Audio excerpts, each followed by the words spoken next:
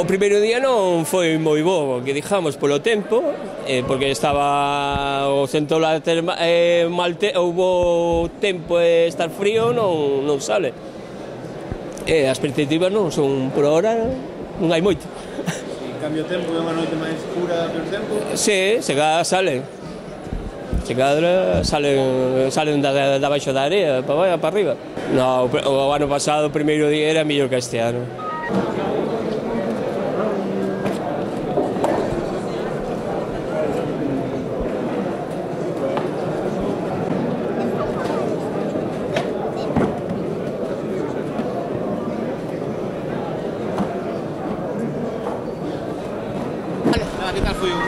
Moi buena, moi buena. A 16 euros 80 primer mío. A calidad? Estupenda. Sí. Fenomenal. Mellor imposible. Imposible. Sí, sí, sí. Respecto ao ano pasado, como vai a cousa? bueno, un poquinho floxa, pero... Penso que isto ten que remontar, eh? Ten que ir a máis, non a menos. Isto é, es, ah, influye por a luna, eh? Luna chea. O sea que... Supoño que será por eso. Supoño que será por eso supoño. Pero bueno, es lo que hai.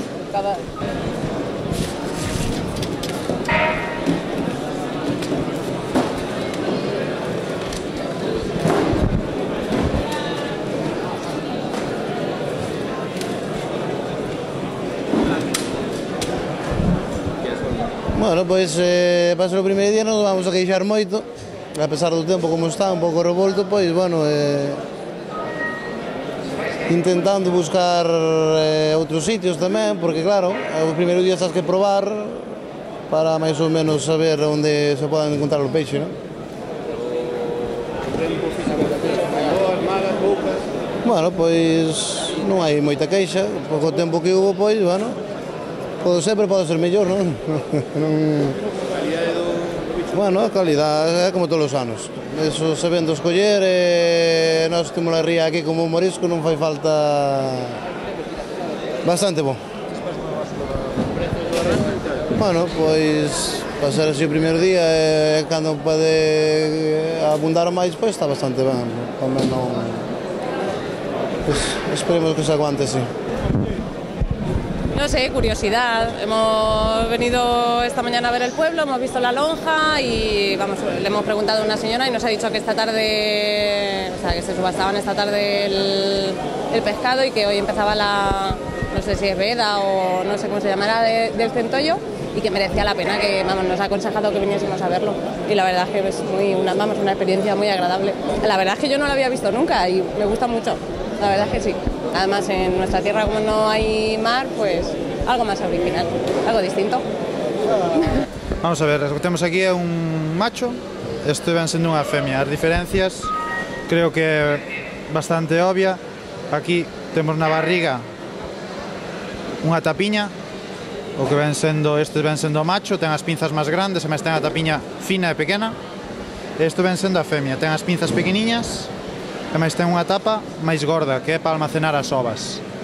A xente o que fai, cando é para miralos, miralles a uña, que non doble, para saber se están cheos ou, ou non.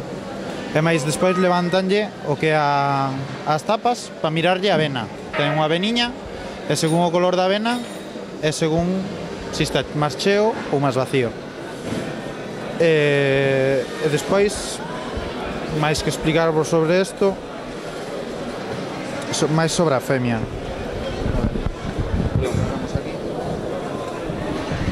Agarramos aquí.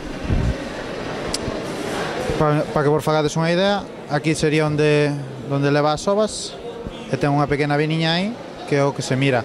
Normalmente as que están máis cheas suele ser de color rosa, e despois vai cambiando a blanco ou a negro, negro xa sería que que non está que non está boa, que está máis vacía.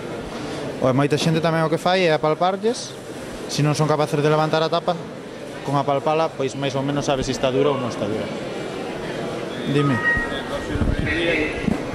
Estás vendo que estás como a Home, de momento que se captura hubo pouca, porque hubo bastante mal tempo e agora veu moito frío, o co frío e máis co haber moita luna non, non suele haber, non suele haber tanta captura pero esperamos que nos próximos días que mellore un pouquiño máis o tempo, que estea máis quente e máis a parte que estea máis oscuro para que, pa que salgan, non? Para que, pa que enmallen máis.